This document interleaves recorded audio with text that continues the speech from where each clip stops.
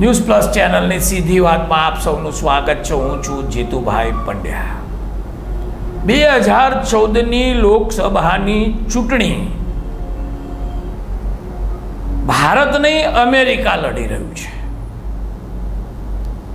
અમેરિકાની સેનેટની એક કમિટીએ એક અહેવાલ વહેતો મૂક્યો છે કે બે હજાર ચૌદની ચૂંટણી રાહુલ ગાંધી અને નરેન્દ્ર મોદી વચ્ચે લડાશે હવે મજાની વાત છે કે ન તો કોંગ્રેસે રાહુલ ગાંધીને ઉમેદવાર જાહેર કર્યા છે, ન ભાજપે નરેન્દ્ર મોદીને જાહેર કર્યા છે. અમેરિકાની રાજનીતિ બહુ સમજવા જેવી છે. અમેરિકા એને આખા દુનિયાનું પોલીસ સમજે છે. અમેરિકા એવું સમજે છે કે આખી દુનિયામાં શું થવું જોઈએ, કેમ થવું જોઈએ, એ બધું એ નક્કી કરે. એટલે અમેરિકાએ બહુ બૌદ્ધિક કસરત કરીને આ અહેવાલ મૂક્યો છે. વિકીલિક્સ દ્વારા જે કંઈ બહાર આવી રહ્યું છે, અમેરિકાના રાજદૂતોના જે તાર છે, ટેલિગ્રામ છે અથવા એમણે જે ઈમેલ કર્યા છે, બધા જે લીક થઈ રહ્યા છે. અને બધા વિકીલિક્સને અભિનંદન અભિનંદન આપી રહ્યા છે.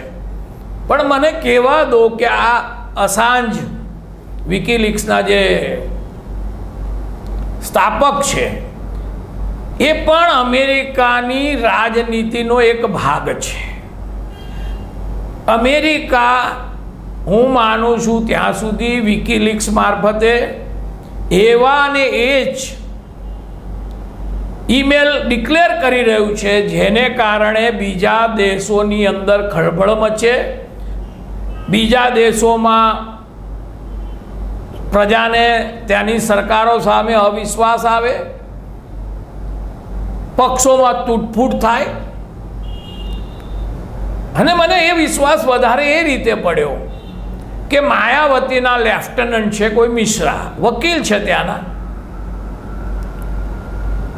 એ ત્યાંના સેકન્ડ નંબરના બીએસપીના નેતા છે. ભૂદેવ છે, બ્રાહ્મણ છે. એમને, એમણે માયાવતીને કન્વિન્સ કર્યા કે તમારી પાસે બેકવર્ડ ક્લાસના મતો છે. તમે બ્રાહ્મણોને ખૂબ ટિકિટ આપો. એટલે એ ચૂંટાશે એને કારણે કે ઉપલા વર્ગના લોકો એ બ્રાહ્મણ હોવાને કારણે મત આપશે અને તમારી પાસે પછાત બેકવર્ડ ક્લાસના મતો તો તમારી પાસે છે જ. અને બહુ જ હોશિયારીપૂર્વક મિશ્રાજી અને માયાવતીએ સત્તા કબજે કરી. એટલે મિશ્રાજી બીજા નંબરના બીએસપીના નેતા છે. વડોદરાના વેવય પણ છે. વડોદરાના બહુ જ જાણીતા એડવોકેટ અને ભાજપના નેતા, શિક્ષણ સમિતિના માજી ચેરમેન રાજેન્દ્ર ત્રિવેદીના એ વેવાઈ થાય છે. રાજેન્દ્ર ત્રિવેદીનો પુત્ર આ મિશ્રાજીની પુત્રીને પરણ્યો છે. એટલે વડોદરાના વેવાઈ એવા મિશ્રાજી માટે વિકીલિક્સના એક લીકેજમાં જાહેર કરવામાં આવ્યું. કે ઉત્તર પ્રદેશની ચૂંટણી જીત્યાના સાતમે દાડે આ મિશ્રાજી એમ કહી રહ્યા છે કે માયાવતીમાં બહુ અક્કલ નથી અને માયાવતી ભ્રષ્ટ નેતા છે. બે હજાર આવતા જ વર્ષે બે હજાર બારમાં યુપીમાં ચૂંટણી છે અને એ પહેલાં બીએસપીમાં ભંગાણ પડાવવા માટે આ પસંદ કરેલો ઈમેલ લીક કરવામાં આવ્યો. જેને કારણે માયાવતી જેવા બિલકુલ સખત વહીવટકારોના માટે તો આટલી વાત વાળ ઊભા કરી દેવા માટે પૂરતી છે. એટલે એમને મિશ્રાજી પર અવિશ્વાસ આવે. મિશ્રાજી અને એ લડી પડે. અને લડી ન પડે દેખીતી રીતે તો પણ અંદર ખાનગી માયાવતીજી આ મિશ્રાજીને બાજુ પર મૂકી દે. એ કાવતરાના ભાગ રૂપે જ આ ઈમેલ લીક કરવામાં આવ્યો. હવે બે હજાર ચૌદની ચૂંટણીને આડે બે વર્ષ છે. કોંગ્રેસ શું નિર્ણય લે છે? ભાજપ શું નિર્ણય લે છે? કશી જ રાહ જોયા વગર.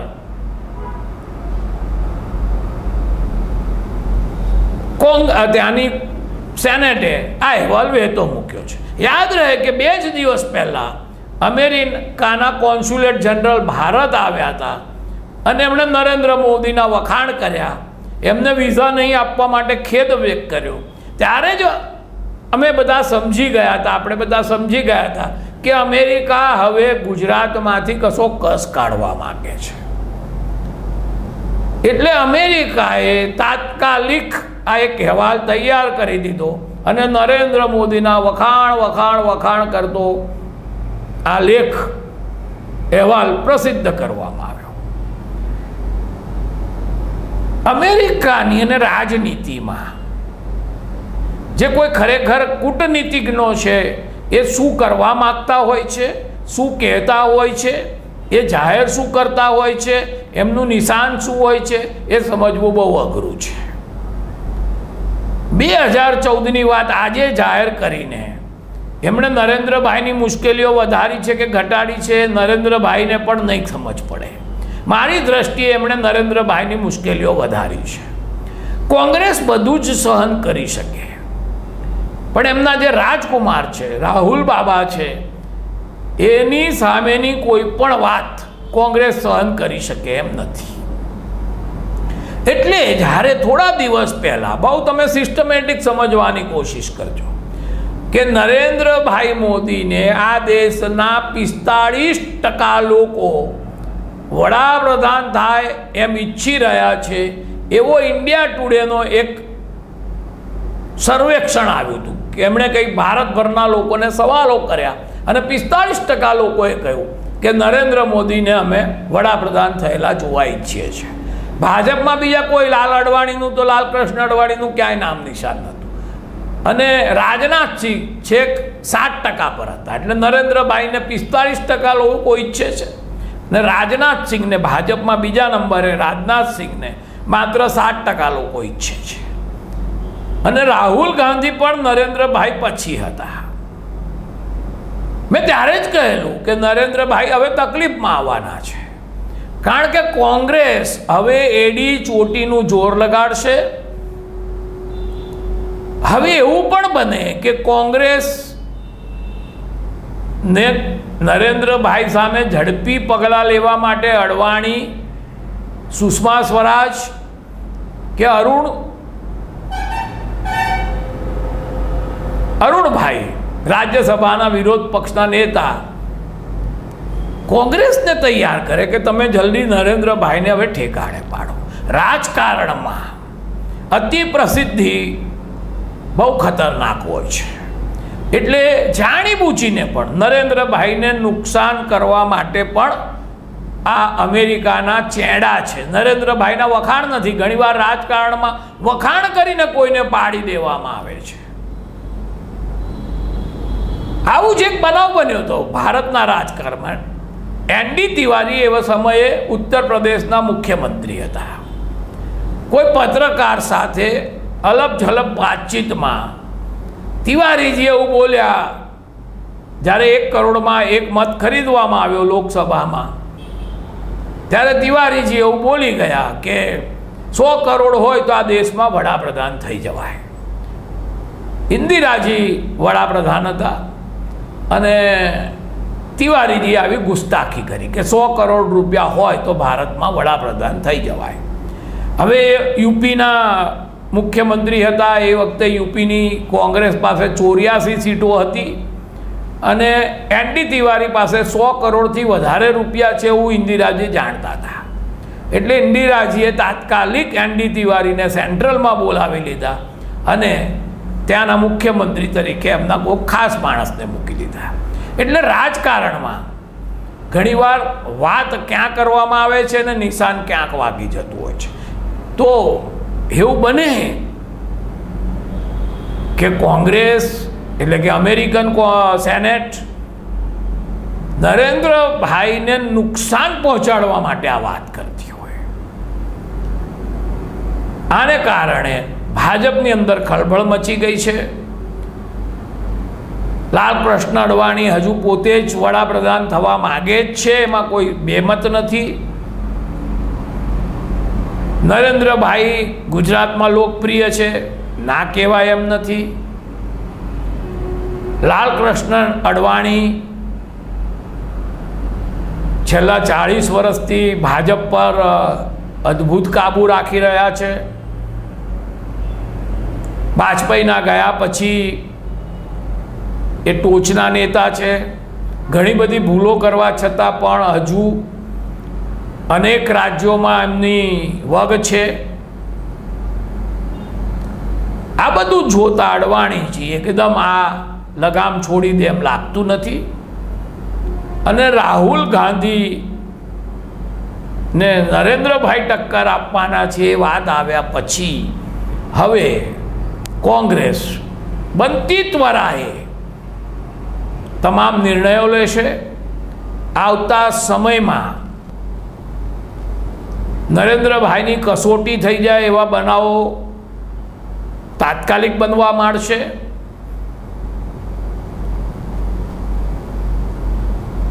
ગુજરાતમાં હોમ મિનિસ્ટર જેલ ભેગા થઈ ગયા અને પછી જામીન ઉપર છે.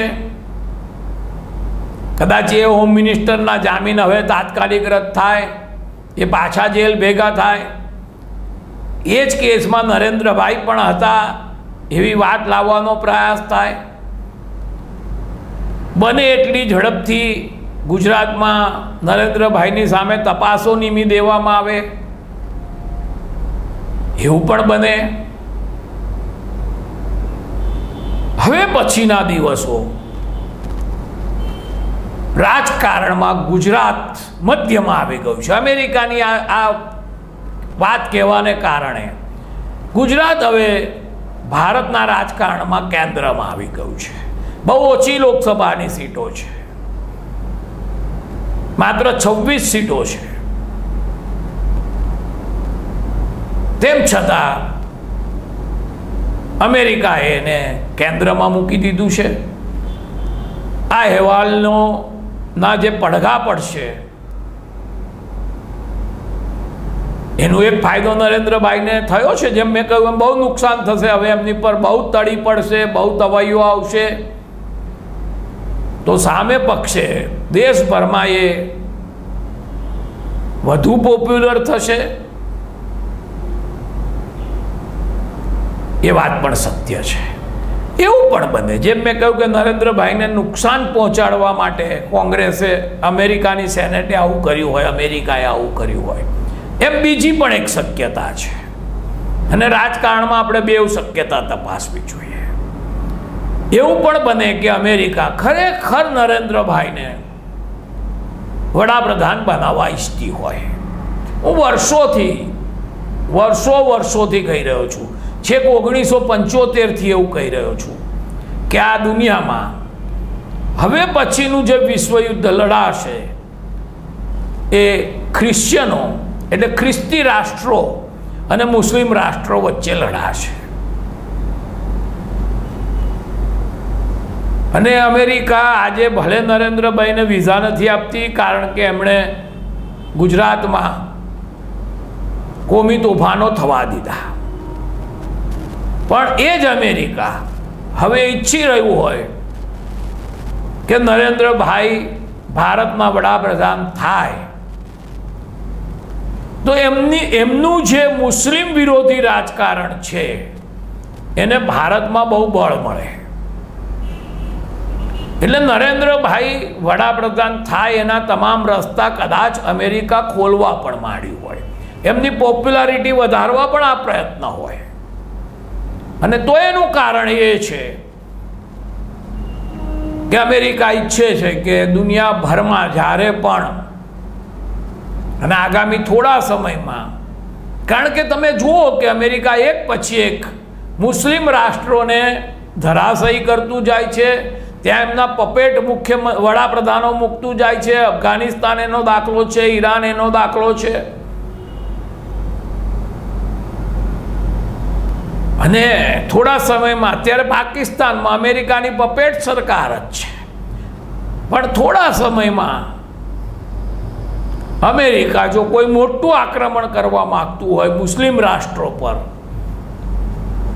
અને એમાં કોંગ્રેસની સરકાર હોય તો એમાં ખુલ્લો ટેકો મળવાની જરા પણ સંભાવના અત્યારે નથી. જેમ કે અફઘાનિસ્તાન યુદ્ધ વખતે આપણે પાક અમેરિકાને વિમાનો ઉતારવા દેવાની ના પાડી. આપણે ભારતમાંથી અફઘાનિસ્તાન પર હુમલો કરવા દેવાની ના પાડી. અહીં મથક ઊભું કરવા દેવાની ના પાડી. જે બધું પાકિસ્તાને કરવા દીધું ને અબ્બજો ખરવો રૂપિયા મેળવ્યા.